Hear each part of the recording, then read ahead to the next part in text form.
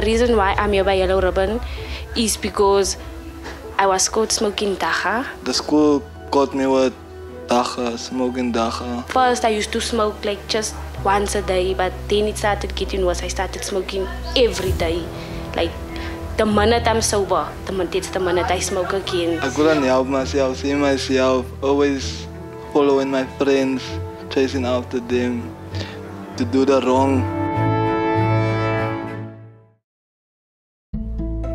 Every day, millions of South Africans suffer from substance abuse disorders, and it eats away at their families, their resources, and results in a loss of opportunities, particularly among the youth. The Yellow Ribbon Foundation decided that this no longer needed to be the narrative of the young South African, that it is okay to have a place that you can go to where you can call home, that you can call your family, and a place that will support you and prevent things such as drug abuse. So this is our this is our office block basically. What we do here, we do all our documentation from here. Our coaches sit here. Um, just a little bit about our organization. It started five years ago, and I realized what I had gone through and the little support and help that was around at that time. When I found out my son was an addict, I removed him from school, sent him to a rehab, and he didn't have an education. He missed out on education. So the most important thing for me is to try and keep our kids connected to education and to support the nine high schools in our community where we allow the teachers to educate and teach, and we deal with the social ills that that our schools are faced with.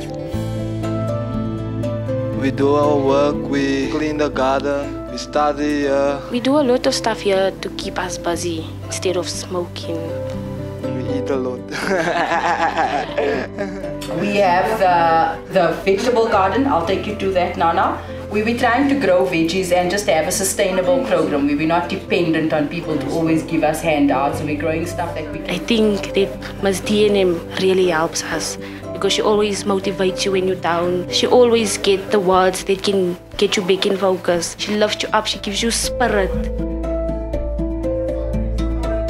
Once education goes out the door, that's when you become a problem. That's when crime happens. That's when teenage pregnancy happens. All of that. So the biggest what really inspired me about everything at this foundation was that it's a sense of community, it's a sense of heart. Nobody is left out regardless of what your problems or your issues are.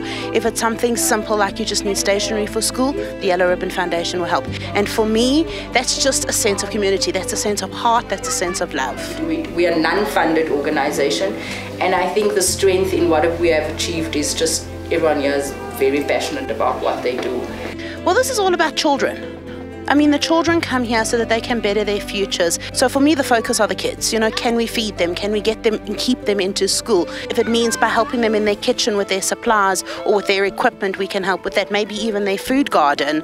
Um, let's keep a few secrets.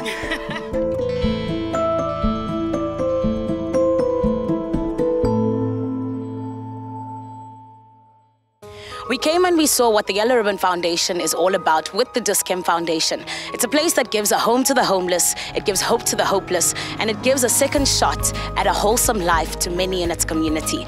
We wait in anticipation to see what the Dis-Chem Foundation has in store for the Yellow Ribbon Foundation, and we can't wait.